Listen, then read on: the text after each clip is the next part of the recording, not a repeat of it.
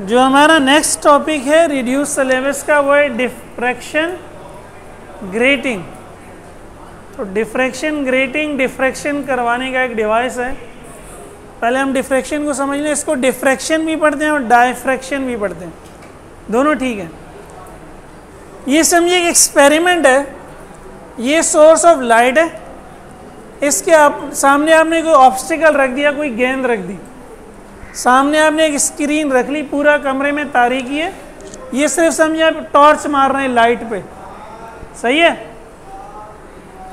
तो बॉल के ऊपर से जो रोशनी गुजरेगी, वो स्क्रीन को क्या कर देगी? रोशन? ऊपर भी और? लेकिन जो रोशनी बॉल से टकराएगी बॉल उसको रोक लेगा। तो आपको सामने स्क्रीन पे क्या नज़र आएगा? साया।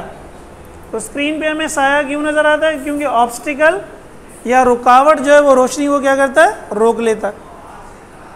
सही है? ये ऑब्जेक्ट बड़ा है या ये ऑब्स्टिकल लार्ज है? अब इसी तरह का एक्सपेरिमेंट हम करें, इस ऑब्स्टिकल को छोटा कर दें, बहुत छोटा एक्चुअल में इससे भी छोटा है। इस केस में भी यही होना चाहिए कि ऑब्स्टिकल के सामने साया बनना चाहिए और ऊपर क्या होनी चाहिए? रोशनी। आप पता नहीं, दूर से आपको नज़र आ रहा है नहीं, मैंने सेंटर में इसके एक डॉट बनाया जो सफ़ेद है। सही है?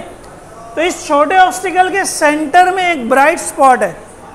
यहाँ ब्राइट स्पॉट कोई भी, चलिए इसको ज्यूम करने अगर यहाँ कोई ब्राइट स्पॉट आ जाता है तो वो कैसे मुमकिन है?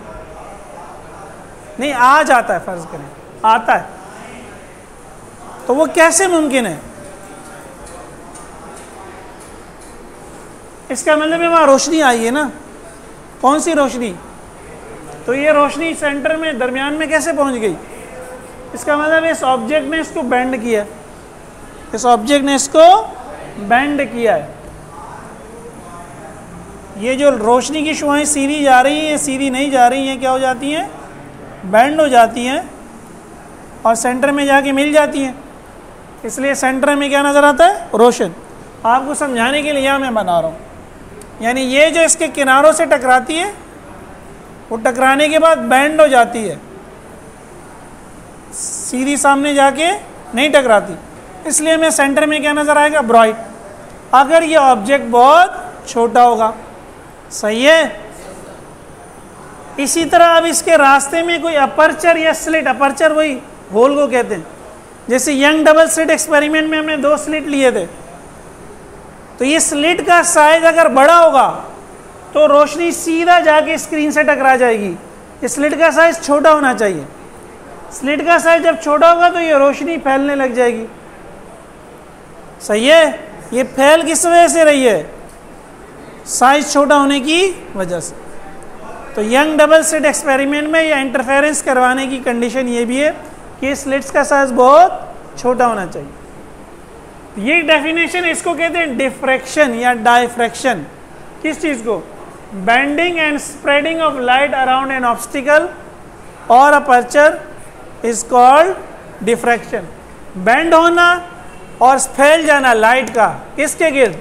किसी रुकावट की वजह से या किसी अपर्चर की वजह से। इसको क्या कहते हैं? डायफ्रैक्शन डिफ्रैक्शन या डायफ्रैक्शन इफेक्ट्स आर लार्ज ये आपको क्लियर नज़र आएँगे। बहुत ज़्यादा वाजे हो जाएगा। कब?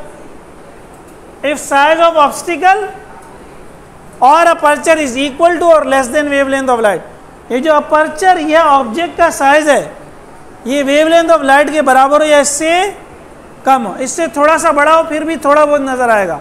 बहुत बड़ा हो तो बिल्कुल पता, जैसे इस केस में साउंड की एग्जांपल देखें आप ले डिफ्रैक्शन को समझने के लिए। अगर मैं अपने सामने कोई ऑब्जेक्ट रख दूँ, बहुत बड़ा, वो मुझे छुपा ले, लकड़ी का या बॉल बॉल, बड़ी कोई रख दूँ। और मैं यहाँ से बोलूँ, मेरी आवाज़ अब तक पहुँचेगी? पहुँचेगी ना? हालाँकि मेरी आवाज़ को तो रोक लेना चाहिए उसको। क्यों से पहुँच रही है? आवाज़ बैंड हो रही है। उससे टकरा के बैंड होके आप तक पहुँच रही है। सही है? तो ये डिफ्रैक्शन तमाम वेज में होता है। पार्टिकल्स में नहीं होता। पार्टिकल्स एक दूसरे से आके टकरा जाते हैं। पार्टिकल्स तो तो डिफ्रैक्शन वेव की बहुत सी प्रॉपर्टीज़ है जो सिर्फ़ वेव्स की हैं। इंटरफेरेंस भी वेव्स में होता है पार्टिकल्स में रिफ्लेक्शन भी वेव्स में होता है पार्टिकल्स में नहीं होता। रिफ्रैक्शन भी वेव्स में होता है पार्टिकल में। इसी तरह डायफ्रैक्शन भी वेव्स में होता है पार्टिकल्स में। ठीक है? बस नेक्स्ट लेक्चर में फिर वो टॉपिक पढ़ेंगे।